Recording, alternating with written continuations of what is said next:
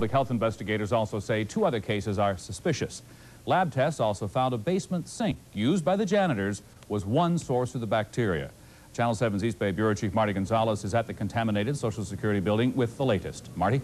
It takes several days for those tests to turn up positive or negative. That's why there's been such a delay in tying the two together. But health officials are confirming that they can, for the first time, connect the same strain of Legionnaire's disease that killed Rosalind Sheffield to the strain that was found in the basement of this building.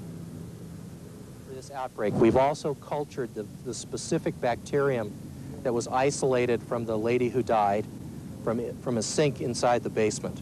Um, so what we know is that the bacteria that caused disease is present in the building. So if the clustering wasn't enough to say that there was a problem in the building, we've now grown the specific bacterium. And there you can see a man in a neon green cap with the uh, respirator on. He is one of the many workers in the building. They have removed some of the windows for no other reason than ventilation. Uh, that building is sealed up and there's no ventilation inside the building. So those windows are the only way that the workers can get some fresh air. We don't know how long exactly the work is going to continue here at the building. It will probably go on at least another three to four weeks, we're told. In the meantime, some 1,200 employees from Social Security will be moving about eight miles south on the 880 freeway to Emeryville. Social Security employees huddled around their immediate supervisors to hear when they'd be back to work. Our job is set up, get back to work, and that's it. Come Thursday, an estimated 800 Social Security workers will move into temporary space at the Watergate Towers complex in Emeryville. It's a massive move. Social Security will occupy 13 floors in three buildings, a total of 110,000 square feet.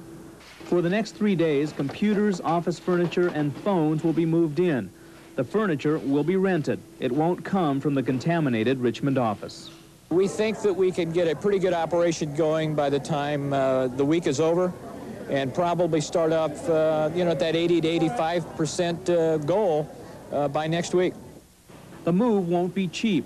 Social Security is paying $25 a square foot. It adds up to $2,750,000 for the three-month lease. That's part of the reason for the high rent, the short lease. There's another 90 days optional on top of that. Social Security priorities in finding new office space included a building with room for several hundred employees, a facility near its Richmond office, with freeway and BART access, the Watergate already offers shuttle service to MacArthur BART. That will be stepped up. The more carpools, the more people per car, the better off.